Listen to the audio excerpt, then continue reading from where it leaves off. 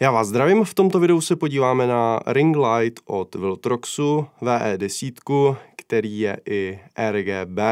Viltrox mi toto světlo zaslal výměnou za recenzi, nicméně můj názor to nějak neovlivní, ale zároveň musím říct, že jsem z toho to světla překvapen. Hodí se pro ať už eh, lidi, kteří chtějí jednoduché nasvícení, aby vypadaly dobře, protože toto světlo se používá v rámci fashion, to znamená, máte rovnoměrně, jak vidíte, nějaký kruh, do prostředka si můžete dát ať už fotoaparát s objektivem, což já teďka nedělám, abyste viděli ten kruh okolo, a nebo mobilní telefon nebo tablet. V rámci obsahu balení dostanete různé držáky, a dostanete i dálkové ovládání nejen pro samotné světlo, ale pro i vaše mobilní zařízení, to je takové maličké růžové. Zároveň jsem k tomu dostal i stativ, na kterém ten ring light drží, je skládací a toto světlo můžete koupit i v obchodě Film Technika za velmi příznivou cenu. Nicméně pojďme to trošku oddálit. Teďka vidíte celý ring light s tím, že ho můžete ovládat pomocí prvku vzadu nebo pomocí dálkového ovladače, který je v ceně balení, anebo pomocí aplikace V-Light, kterou jsem sdílel u předchozího světla. Toto světlo má až 30 W, což si můžete všimnout, že je opravdu hodně a jednoduše se ovládá, nicméně, jak jsem říkal, můžu se přepnout do HSL a toto světlo je i RGB, takže jednoduchým taháním si můžu hrát s jednotlivými barvama. Když si vezmu, kolik toto světlo stojí, tak mně to přijde jako skvělé. Má to i 29 přednastavených efektů, to znamená, ty efekty už si nemůžete žádným způsobem upravovat ale máte jí 29, takže vlastně proč ne? Je to bonus, nicméně si myslím, že budete spíše uh, svítit v kelvinech. Co se týče napájení, obsahem balení je zdroj uh, do sítě, který je připojen na zadní stranu, ale zároveň se tu nachází i dva sloty na NPF baterie, takže můžete bez problémů toto světlo napájet na NPF,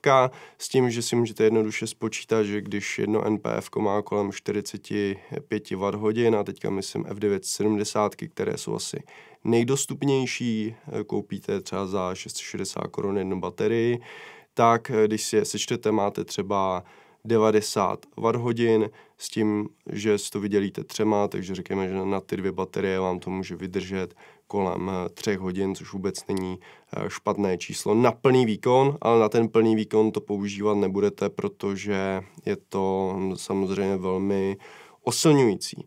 Kdo toto světlo ocení? No jednoznačně vlogerky, teďka myslím ty, které se zaobírají fashion, protože vám to krásně vytáhne eh, ty panenky v očích, máte rovnoměrně nasvícený obličej, takže vypadáte lépe než ve skutečnosti dá se říci, že tohle je takový jako filtr. Jo, i když to zní vlastně divně, tak tímto způsobem. Nebo to můžete využít klidně na nasvícení produktu, někdo, kdo dělá třeba nějaké náramky nebo něco podobného.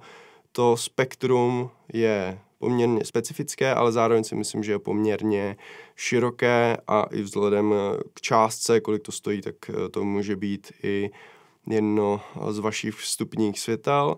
A s ringlidem eh, jsem se setkal nejenom u žen, ale i například v Octagon TV, kde občas moderátoři mluví, ale to jenom ukážu, v jakém stylu to je. V Octagon TV to vypadá spíš tímto způsobem, to znamená, máte napálené to světlo na maximum, zbytek je utopen ve tmě, to znamená veškeré pozadí a pak to vypadá trošku drsnějc, je to nějaká